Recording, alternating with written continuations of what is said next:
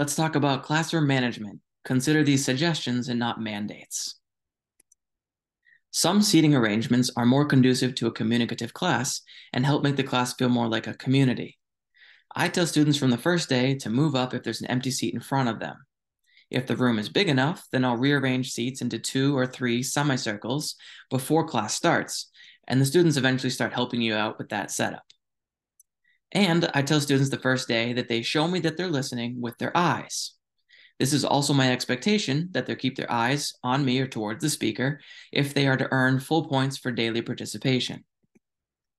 Go over your class rules the first day and again the next, and whenever the class needs refreshing.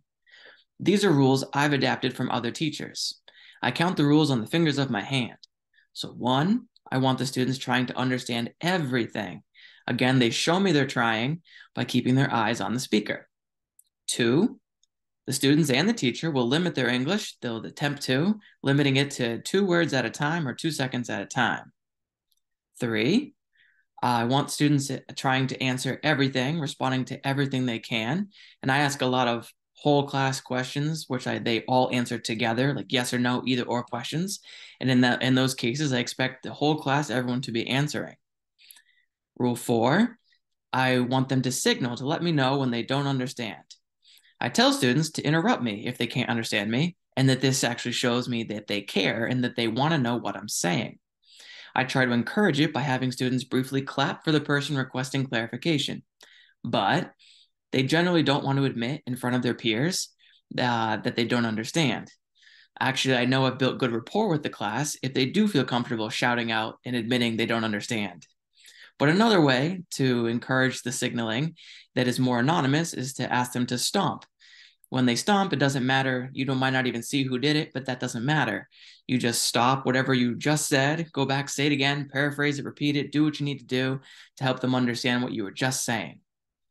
Um, you can also say that the signal doesn't just mean you don't just use it when you don't understand, but also when you want the teacher to slow down. And students might feel more comfortable doing that admitting that they they want you to slow down rather than saying they don't understand. And then rule 5, I want us to be supportive of each other. So whenever a student volunteers for something or tries to say just about anything in the second language in front of the class, we will briefly clap about 2 seconds the whole class for that student or students. Giving students special roles during class all but guarantees that at least those students will be engaged. I reassign these two jobs at the start of every class. I buy these $1, can you see them? Clapper hands at a dollar store, and we celebrate everything students say in the second language. So this the clapper kid will start the applause. Everyone in the class joins in, lasts about two seconds. The English referee, uh, this job is to keep the teacher from using too much English. I start the semester allowing myself four seconds of English at a time. If I go over those four seconds at any one time, then a soft ball gets thrown at me, shoulders and down. Um, it only ever gets used to, or thrown at the teacher, not at other students. And it often catches me off guard, and the class gets a good laugh at my reaction. And it also, I get to a reminder that I'm using English, go back to using Spanish. Um, if that makes you feel nervous, the idea of a student throwing a ball at you, you can come up with, I'm sure, another way uh, for someone to referee your English. There are more jobs we can use, but they're activity specific. To build rapport, start learning names early, making a serious effort by the second or third class, definitely once drop out is passed. So study your photo rosters, but also you want the students to know each other's names.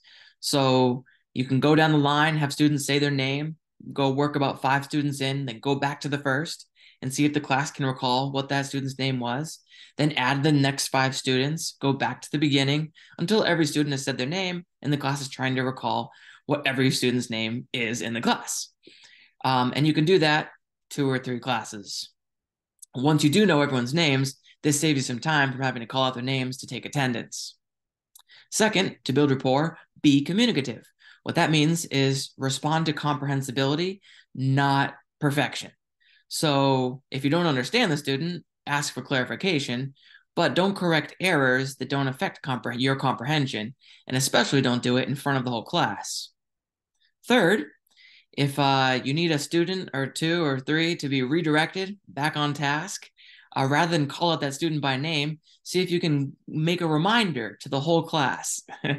um, so you say something like, I want to remind you all that your cell phone should be put away. Maybe there's only one student actually on their phone, but that way that student hears you and doesn't doesn't get their name called out in front of everyone.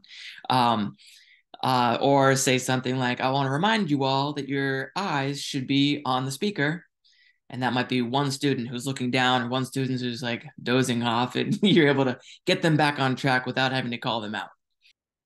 Next humor is great for the classroom but avoid making jokes at the expense of a student and lastly if a student is not participating or seems distracted or somehow seems off then ask that student to hang around after class and talk with the student and you'll you'll probably find that their behavior has nothing to do with you Now, this could be called the formula for engagement and participation.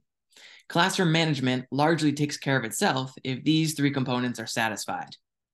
Fortunately for us language teachers, this is essentially the formula for optimal language learning. Community gets built by students getting to know each other and through collaborative activities. A lack of comprehension is a major source of classroom management issues. And I could have said interesting instead of compelling, but the language teaching and learning professions love their C words, like ACTFL five C's and the three C's of negotiating meaning. Uh, students actually don't need to be motivated to learn Spanish. They just need to be motivated to partake in the current activity. And they will be if they like the activity.